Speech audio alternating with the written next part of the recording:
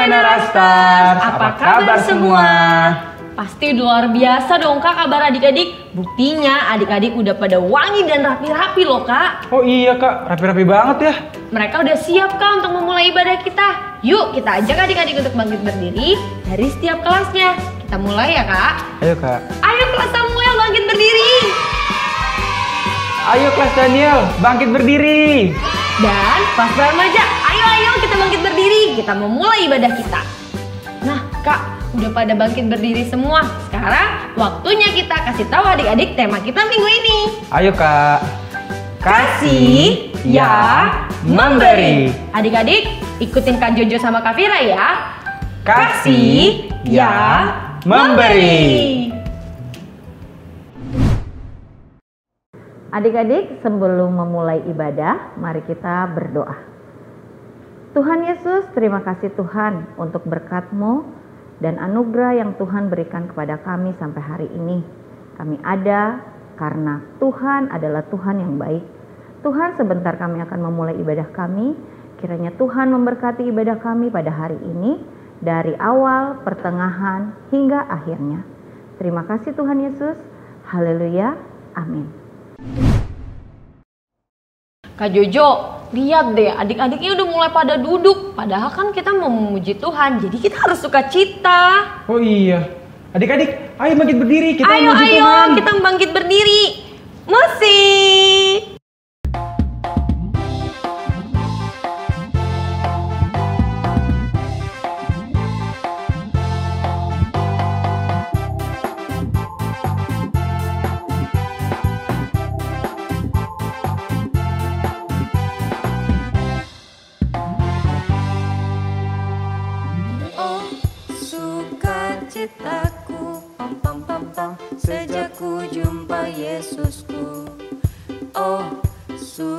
Sukacitaku pam pam pam pam. Ku temukan juru selamat.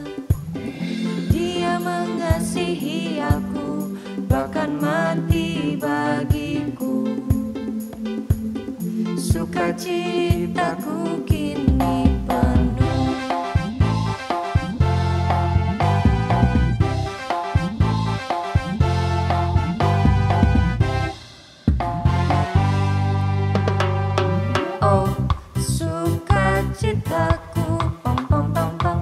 Jacu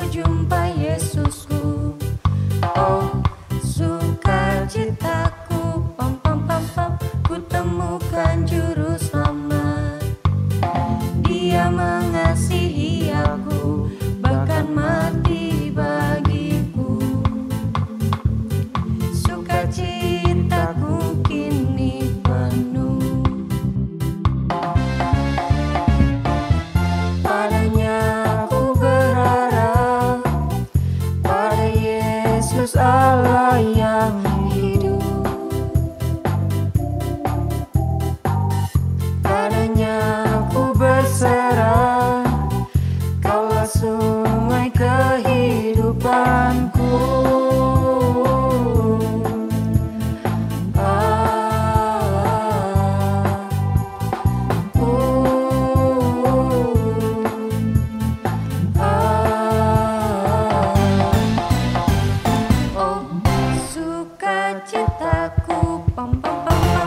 sejak ku jumpa Yesusku. Oh sukacitaku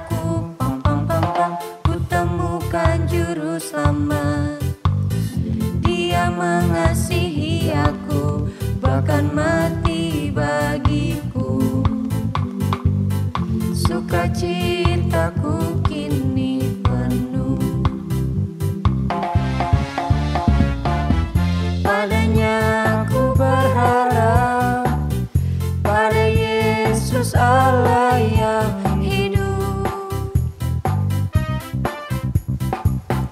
Padanya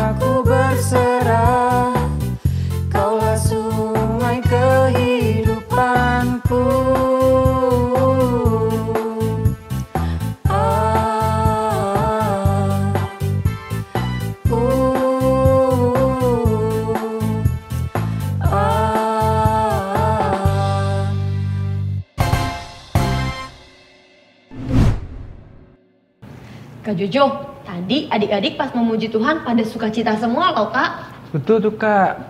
Adik-adik, silahkan duduk dan sama-sama kita menyembah Tuhan.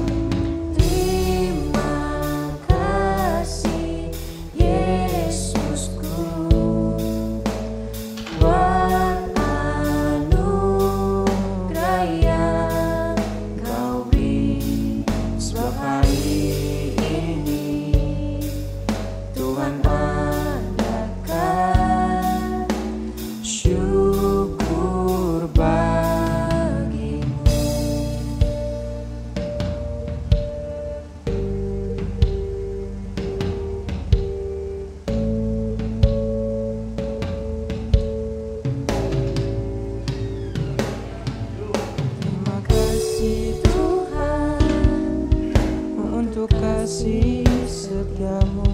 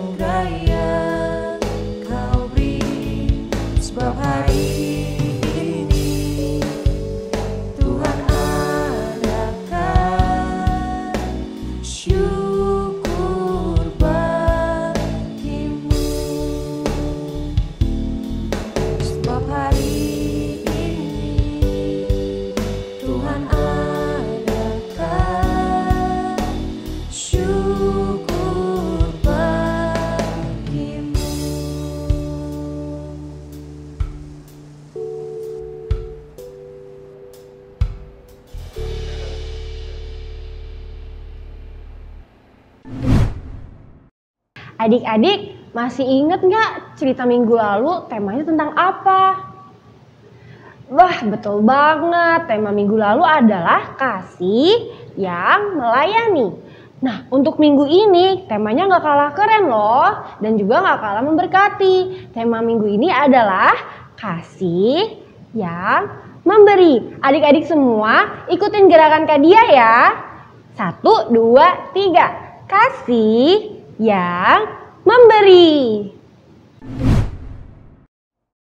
Adik-adik, sesuai dengan tema kita minggu ini yaitu kasih yang memberi. Apa sih kasih yang memberi itu? Banyak hal yang bisa kita lakukan dengan kita memberi. Seperti contoh, nah, dari memberi kita boleh menjadi berkat bagi banyak orang. Maka dari itu, jangan takut untuk memberi. Tuhan Yesus memberkati. Halo adik-adik, jumpa lagi dengan Kak Hana kali ini. Nah, kali ini Kak Hana mau bercerita tentang seorang janda yang luar biasa. Nah, temanya mau tahu apa? Temanya kali ini adalah kasih yang memberi dari 1 Raja-Raja 17 ayat 7 sampai 16. Nah, dari cerita ini Kakak percaya pasti adik-adik mau belajar sesuatu. Nah, yuk coba dengar baik-baik ya. Coba sikapnya tertib. Sudah duduk tertib semuanya? Nah, kakak senang kalian sudah tertib semuanya. Nah, pada waktu itu Tuhan menyuruh Nabi Elia ke Sarfat. Di situ Nabi Elia bertemu seorang janda. Nah, janda ini nggak punya suami adik-adik. Ya, dia punya seorang anak. Janda ini uh, taat, mau melakukan firman Tuhan, dia mau taat sama Tuhan. Janda ini mau melakukan sesuatu. Mau tahu apa yang dilakukan? Nah, janda ini mempunyai hanya mempunyai segenggam tepung dan minyak yang ada di dalam buli-buli. Awalnya janda ini berpikir, wah kalau aku berikan uh, apa yang aku punya ini, aku makan apa? Apa yang bisa aku makan lagi besok? Pasti aku akan meninggal. Tapi janda ini luar biasa loh adik-adik. Dia melakukan yang terbaik. Janda ini memberikan apa yang tersisa dari uh, kepunyaannya. Dia memberikan kepada Nabi Elia. Akhirnya apa yang terjadi? Nabi Elia memberkati janda ini dan menolong kehidupannya. Ya, wah, dari cerita ini pasti adik-adik pernah mengalami sesuatu tidak? Pasti ya. Saat adik-adik mau memberi, tapi adik-adik gak punya, hanya punya sesuatu yang gak mungkin diberikan oleh orang yang uh, mempunyai kebutuhan ini. Padahal adik-adik hanya punya sesuatu yang kira-kira, aduh kayaknya kalau aku kasih, bagaimana ya untuk aku sendiri? Tapi ketika adik-adik mau melakukan yang terbaik untuk Tuhan, mau melakukan firman Tuhan, ada sesuatu yang luar biasa. Seperti janda ini. Janda ini diberkati luar biasa. Gak hanya menolong kehidupannya. Bahkan, mau tahu? Tuhan memberkati luar biasa. Dengan cara apa? Anaknya yang meninggal Tuhan bangkitkan. Hebat kan Tuhan kan? Nah itulah adik-adik yang kalian harus lakukan seperti janda ini. Ya kita nggak perlu hitung-hitungan saat memberi. Kita tidak perlu berpikir panjang saat memberi. Walaupun kita nggak punya sesuatu yang terbaik untuk diberikan. Tetapi dengan ketulusan hati, adik-adik mau memberi, pasti Tuhan akan berkati luar biasa. Nah, kesimpulan dari cerita ini adalah kasih Tuhan akan kelihatan, akan nampak ketika kita bisa memberi, ya. Nah, gak usah tadi yang seperti tadi kakak bilang, berpikir panjang dulu untuk memberi, tapi Tuhan akan memberkati luar biasa. Nah, apalagi ya. Nah, ketika kita memberkati orang, ketika kita memberi orang, Tuhan akan memberkati berlipat kali ganda. Kita akan dapat berkat lebih dari apa yang kita berikan untuk orang lain. Nah, siapa yang mau diberkati? Kakak percaya adik-adik semuanya ingin diberkati oleh Tuhan. Untuk itu, lakukan yang terbaik untuk semuanya, siapa saja, tanpa hitung-hitungan, seperti janda tadi. Oke? Nah, kakak percaya kalian pasti bisa. Selamat melakukan dan melayani firman Tuhan hari ini. Tuhan Yesus memberkati. Adik-adik, ayat hafalan kita minggu ini terambil dari Kisah Para Rasul 20 ayat 35b yang berbunyi adalah lebih berbahagia memberi daripada menerima. Jangan lupa dihafalin ya. Adik-adik, activity at home minggu ini adalah kalian ceritakan pengalaman kalian tentang memberi. Kalian bisa kirim ke kakak pembina lewat video atau kalian bisa juga telepon atau WhatsApp. Ditunggu ya. Dah. Adik-adik, mari kita berdoa ya untuk bangsa dan negara. Yuk, lipat tangan, tutup matanya. Terima kasih Tuhan untuk hari ini. Kami mengucap syukur dan berterima kasih karena kasih-Mu yang sungguh luar biasa. Kami berdoa untuk bangsa dan negara kami. Engkau berkati, Engkau lindungi, Engkau jagai agar bangsa kami tetap menjadi berkat dan menjadi bangsa yang besar. Kami berdoa buat Presiden kami Joko Widodo dan semua para staf dan pemerintah, Engkau berkati setiap mereka. Apa pun yang dilakukannya bangsa ini boleh berhasil Tuhan. Terpujilah namamu dan kami juga berdoa untuk gereja Menora Star. Tuhan, kami serahkan gereja kami, biarlah gereja kami tetap menjadi berkat di mana pun gereja kami berada.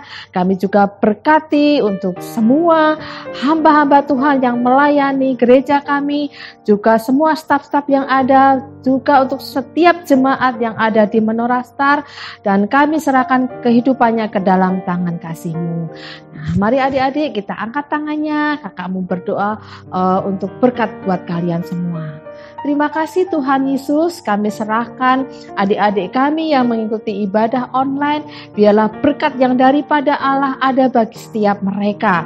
Tuhan, Engkau berkati kesehatannya, Engkau berkati pendidikannya, biarlah Tuhan selalu menjamah setiap mereka dan terlebih setiap mereka ketika mendengarkan firman Tuhan boleh menjadi pelaku firman Tuhan, tetap menjadi berkat dan mereka mempunyai hati untuk memberi. Terima kasih Tuhan, Inilah doa berkat yang kami berikan bagi adik-adik kami. Biarlah setiap mereka engkau selalu jagai dan lindungi.